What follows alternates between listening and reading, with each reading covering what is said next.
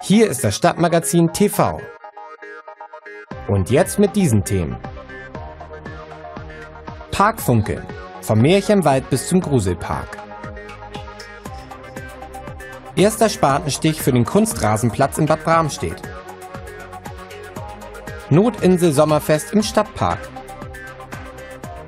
Theaterverein Bad Bramstedt startet in die neue Saison. Und der HSV gewinnt gegen VfR Neumünster in der Grümmi Arena. Das Stadtmagazin TV wird Ihnen präsentiert von Edeka Grümmi, Neumünster City, Tungendorf, Bostedt und Einfeld. Die Freude war groß. Bad Bramstedts Bürgermeister Hans-Jürgen Kütbach und sein Stellvertreter Arnold Helmke gaben mit dem ersten Spatenstich den Startschuss für den Umbau des bisherigen Trennenplatzes zum Kunstrasenplatz. Also es ist ja ein langer Weg gewesen, fast zwei Jahre haben wir gebraucht, viel Arbeit und nun geht's endlich, endlich los. Wir haben so viele Mannschaften und wir haben nur einen anderen beleuchteten Platz. Wir brauchen unbedingt einen beleuchteten, ein zweites beleuchtetes Spielfeld, was man auch immer durchgehend auch im Winter und im Sommer benutzen kann. Die BT Fußballabteilung, unser Förderverein Fußballgönner e.V., gibt 20.000 Euro, der Gesamtverein ca. 40.000 Euro. Und besonders ist auch zu sagen, dass wir uns um die, um die Schonung des Platzes kümmern, um die Wartung des Platzes. Und das ist ein fünfstelliger Bereich, liegt im fünfstelligen Bereich. Geplant ist, dass die Fußballer der Bramstädter Turnerschaft noch in diesem Jahr die ersten Spiele auf dem neuen Platz am Schäferberg antreten können. Gemeinsam rückten Spieler, Trainer, Eltern und Unterstützer mit Schaufeln gerüstet dem Weg rund um den Platz zu Leibe.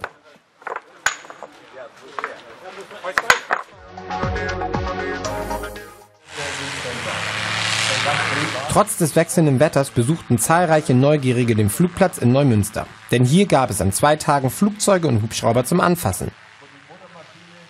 Einige Buden auf dem Festplatz sorgten für das leibliche Wohl.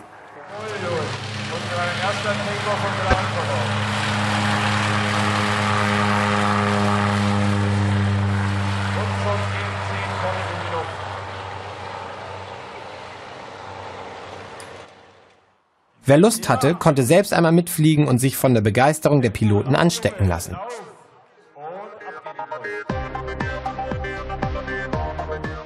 Eine wahre Augenweide war das diesjährige Parkfunkeln vom 29. bis 31. August im Stadtpark Norderstedt. Lichtdesigner Wolfgang Flammersfeld zauberte eine märchenhafte Kulisse und ließ dabei nichts aus. Die Besucher kamen aus dem Staunen gar nicht wieder raus. Was ich erlebt habe, sind ganz viele Lichterspiele, die mir unheimlich gut gefallen haben. Und vor allen Dingen am besten fand ich eigentlich so die Stäuse, die da hinten waren, die beleuchtet worden sind in verschiedenen Farben. Und die Pferde, das sah total natürlich aus und hat mir total imponiert. Und ich fand es auch total schön, äh, die Frau, die da beleuchtet worden ist und dazu getanzt hat. Kunstvoll stellte der Designer mit Hilfe verschiedener Leuchtmittel unter anderem Ponys, Einhörner und Mammuts zum Träumen sowie menschengroße vermummte Kreaturen zum Gruseln dar. Zehnmal Kompetenz vor Ort in Schleswig-Holstein. Bei LZ Automobile erhalten Kunden alles von A wie Auto bis Z wie Zubehör. Eine freundliche, kompetente und individuelle Beratung ist für die Automobilprofis selbstverständlich. Das Norderstädter E-Bike Center Velomann feierte am 1. September große Neueröffnung. Gemeinsam mit Partnern wie Lynes, die mit Barclaycard zusammenarbeiten, begrüßte Wadan Abrahamian die Gäste. Veloman bietet nur qualitativ hochwertige Fahrräder an, konzentriert aber hauptsächlich auf E-Bikes, die neue Generationen an Fahrrädern, wobei wir bieten auch die namhaften Unternehmen von E-Bike-Herstellern, wie zum Beispiel Flyer, Bürcher, was hier gerade bei uns in Heide Wessel individuell hergestellt werden und auch nochmal zwei Marken, die zu Vergleich zu den besseren Modellen sind. Wir bieten komplett Leistungen, das heißt, wir haben unsere eigene Fachwerkstatt und äh, bieten auch äh, dementsprechend die Serviceleistungen. Dazu stellen wir noch die Zufriedenheitsgarantie, was nicht jeder anbietet. Das heißt, wenn ein Kunde hier ein E-Bike kauft, der ist richtig nachher zufrieden. Ja? Und die Service-Reparatur, dann machen wir auch hier bei unserer autorisierten Fachwerkstatt, wo auch von Bosch zum Beispiel autorisiert sind und Bosch E-Bike Service sind. Das bekommt auch nicht jeder Fahrradhändler und dementsprechend bieten wir auch hochwertige Leistungen an.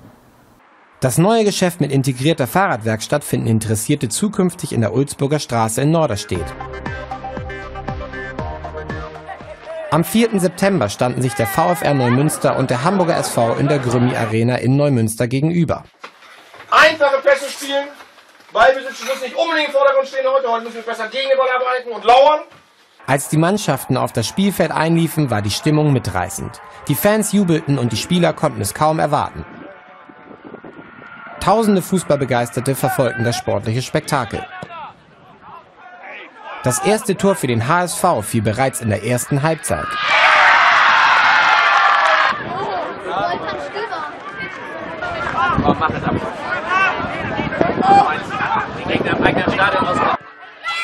Trotz des Rückstandes feierten die Fans ihren Neumünsteraner Verein.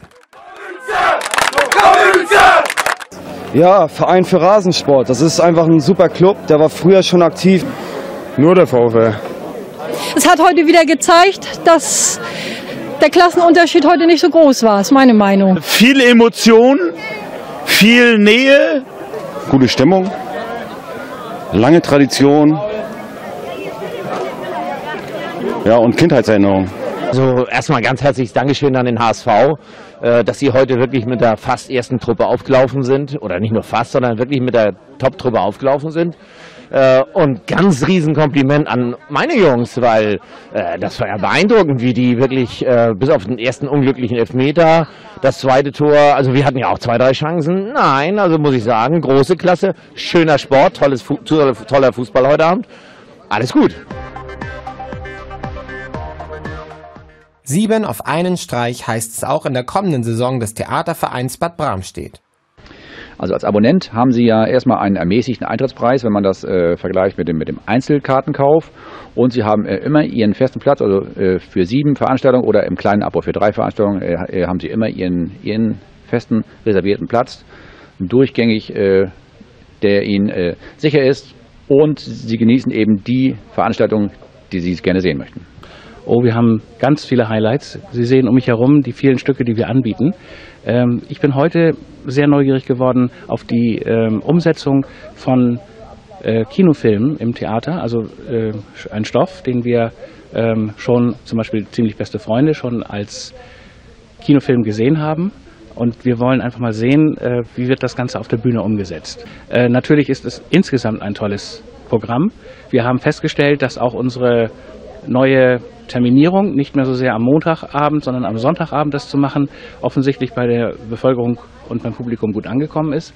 Weil es eine wunderschöne Reise ist äh, zwischen zwei Menschen oder eventuell würde ich sogar sagen für das ganze Haus, also für sechs Personen, äh, die ähm, eine Reise äh, gemeinsam äh, beginnen, um sich selber und den anderen kennenzulernen und eigentlich erzählt es das Leben, finde ich. Und deswegen ist es eigentlich nicht äh, wirklich nur für ein Alter gemacht, sondern es trifft jeden und jeder kann sich damit irgendwie identifizieren und es ist eine sehr berührende und wunderschöne Geschichte.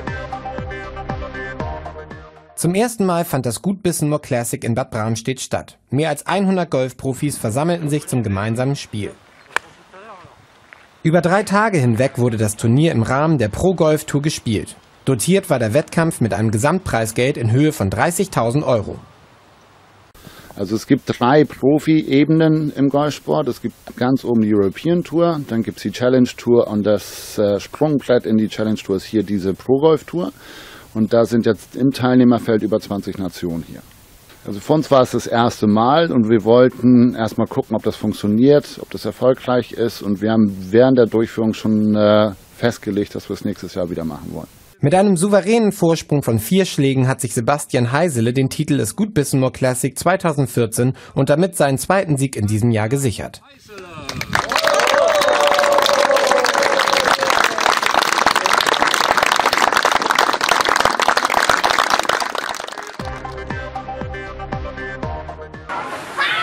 Zum Sommerfest der Notinsel kamen zahlreiche große und vor allem kleine Besucher in den Stadtpark Norderstedt.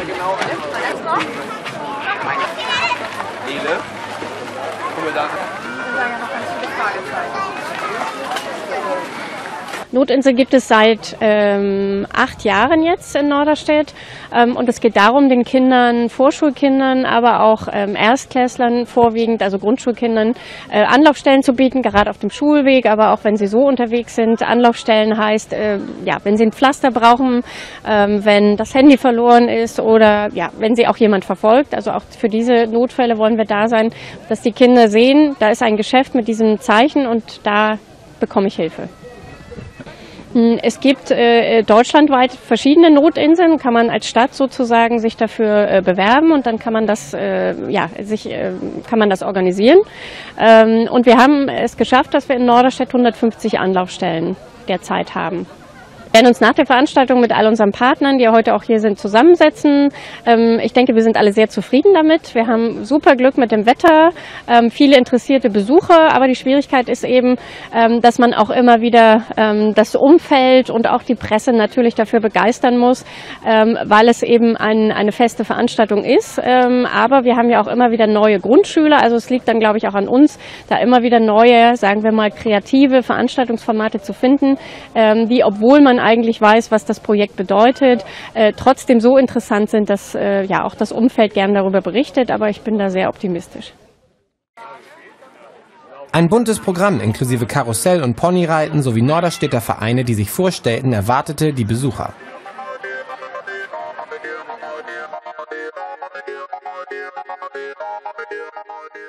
Stadtmagazin TV Termine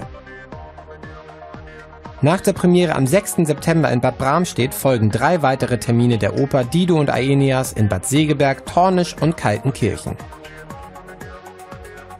Start in die berufliche Zukunft. Vom 12. bis 13. September findet die 18. Junge Messe in der Tribüne Norderstedt statt. Am 16. September spielen Amelie van Wouwe und Lukas Blondel mit Klarinette und Klavier in der Tribüne in Norderstedt.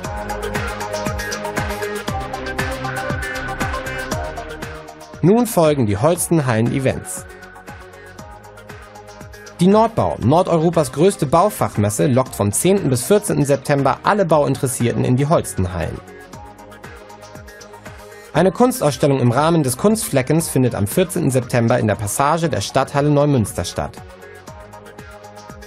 Stöbern und schöne Dinge entdecken können die Besucher am 28. September auf dem Flohmarkt auf dem Außengelände der Holstenhallen.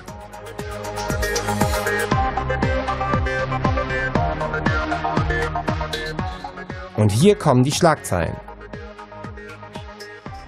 Das diesjährige Bad Bramstedter Weinfest auf der Osterauinsel fiel trotz des wechselhaften Wetters nicht ins Wasser. Für Stimmung sorgten wie immer guter Wein und hervorragende Live-Musik. Die Handballerinnen der weiblichen Jugend C des SV Tungendorf freuen sich pünktlich zum Saisonstart über einen neuen Trikotsatz von der Dachdeckerei K.U. Jürgens. Ende August wurde die Wassermatschanlage auf dem Spielplatz der Kindertagesstätte Schulstraße in Henstedt-Ulzburg eingeweiht.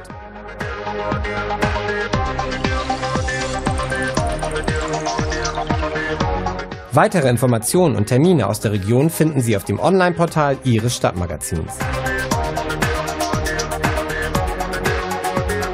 Das Stadtmagazin TV wurde Ihnen präsentiert von Edeka Grümmi, Neumünster City, Tungendorf, Bostedt und Einfeld.